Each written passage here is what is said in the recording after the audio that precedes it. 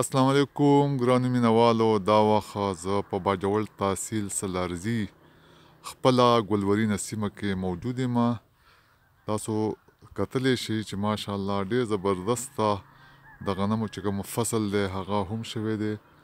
او ونی چې دی هغه هم شنی شوی دی د سپرلی موسم دی د روجی مبارکه میاشت ده